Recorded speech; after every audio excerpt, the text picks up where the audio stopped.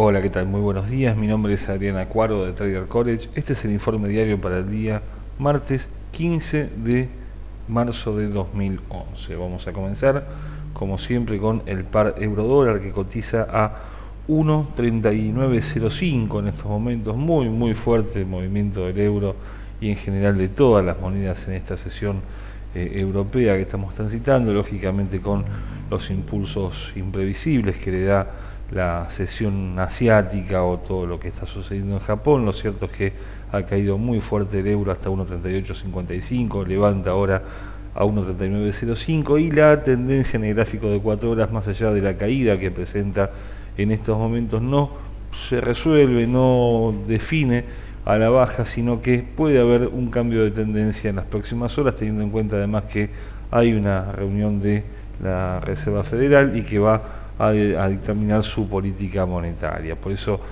mm, entiendo que hay que tener más en cuenta los objetivos alcistas que se ubican en 1.3940, 1.3980 y 1.4005 y los soportes que eh, también aparecen como cercanos, pero mm, algo más lejos, algo más improbable de que el precio llegue hasta los mismos en 1.3855 y 1.3830. Más abajo 1.38 va a ser el siguiente soporte. Momento, dando señal nuevamente alcista, estocásticos, esta vuelta en B es realmente importante, puede determinar un cambio de tendencia en las próximas horas y RSI que, bueno, ante esta suba y alza y baja del euro no está dando señal de ningún tipo.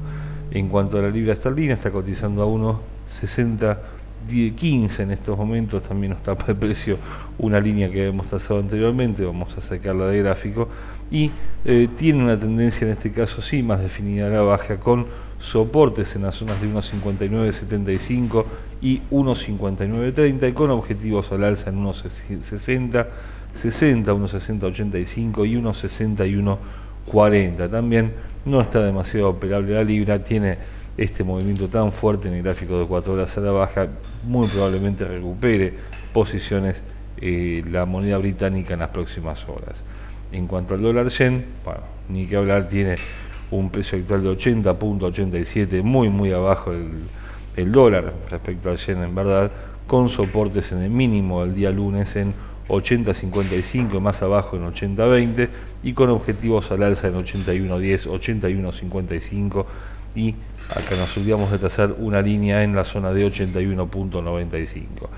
Muy sobrevendido, es muy probable que veamos un alza de precio en las próximas horas, salvo que quiebre la zona del primer soporte, en cuyo caso nuevamente 80-20, como decíamos antes, vuelve a ser el siguiente objetivo para considerar.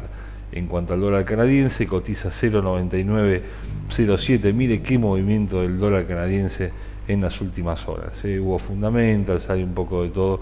Lo cierto es que, bueno, acá nos ocupamos del análisis técnico de los pares y tiene una tendencia claramente alcista, muy sobrecomprada ya, eso es verdad, y llegó a 0,9975, ya cayó 70 puntos y mantiene todavía una tendencia alcista. Vamos a medirlo, en este caso, en términos de FIBO, desde el último movimiento alcista que realmente no tiene prácticamente correcciones salvo la actual y tiene un 38.2% en 0.9875 que es el primer o el segundo soporte importante. Antes se ubica 0.9895 pero muy cerca del precio actual. Más abajo 0.9840 y mucho más abajo aún en 0.9820 son los siguientes soportes para tener en cuenta dirección alcista y superando 0.9940 que es el primer objetivo 0.9960 0.9975 como dijimos máximo del día además máximo de mucho tiempo ¿eh?